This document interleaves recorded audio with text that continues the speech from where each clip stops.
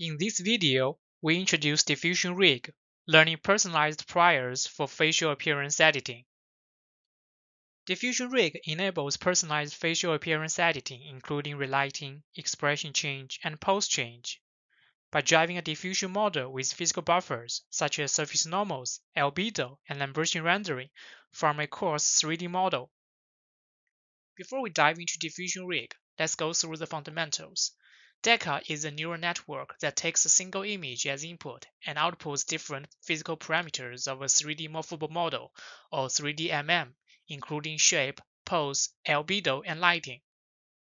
Once DECA has estimated all these parameters, we can render coarse physical buffers such as surface normals, albedo, and the Lambertian image. One advantage of using such 3D-MMs is that they can be easily modified to allow for controllable editing of facial appearance in a physically meaningful way. However, it is important to note that there is a significant gap in photorealism between the Lambertian rendering and the real input photo. Diffusion models, on the other hand, are capable of generating extremely photorealistic images of human faces. However, the generation process cannot be easily rigged or controlled in a physically meaningful manner.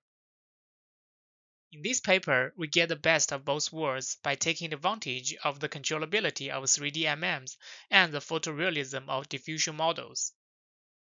Our method consists of two stages. The first stage is to learn generic face priors from a large dataset such as FFHQ.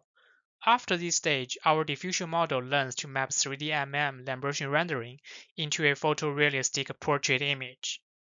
Then we learn person-specific priors from a tiny photo album of around 20 images. After this stage, our model has learned personalized priors tailored to this specific person.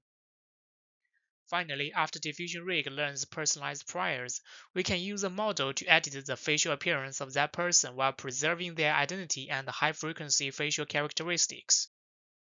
At stage 1, given the input, we use DECA to estimate the physical buffers including normals, albedo, and Lambertian rendering, as they can be easily manipulated in a physically meaningful way. We would like those buffers to drive or rig the image synthesis process. Next, we will concatenate these physical buffers with a noise map. The concatenated input aligns well with the input and output images. We train the denoising diffusion model to reconstruct the input image.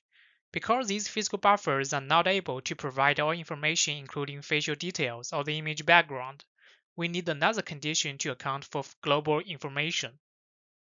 Therefore, we add a global encoder to encode the input image to a global latent code. We then feed the latent code to the denoising diffusion model as another condition.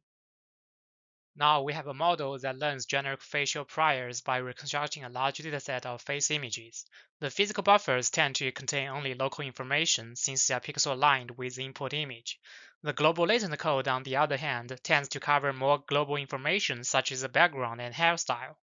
Stage 1 training teaches a model to generate a nice photo of someone, but we need the model to learn about a specific person. Therefore, in the second stage, we would like to learn person-specific priors. We fix the global encoder and only fine-tune the denoising diffusion model this time. Instead of using a large dataset, we require only a tiny photo album of the same person at this stage. After this stage, the weights of the denoising diffusion model contain this person's personalized priors. After we have learned person-specific priors, we can edit the person's appearance by manipulating the physical buffers or global latent code. In this inference example, we change the lighting parameters in Lambertian rendering, which then drives our diffusion model to produce a photorealistic image of the same person with just the lighting changed. We can also change the expression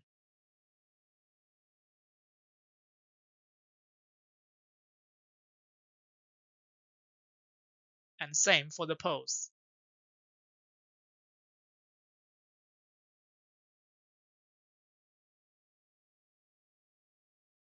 Let's see some more facial appearance editing results with these input images as inputs. We can run DECA to get the physical buffers, then change the lighting parameters, and ask our diffusion model to generate the edited images accordingly.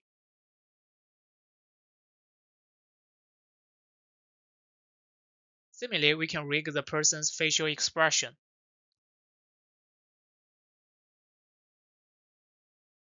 And also for the pose.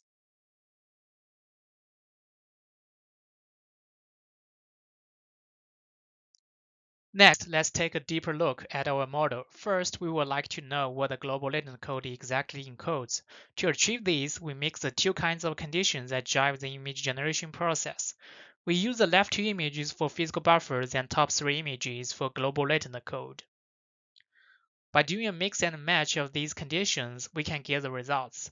We can see that the physical properties like pose and expression are consistent with the left images, while other nuances like background or glasses are similar to the top images.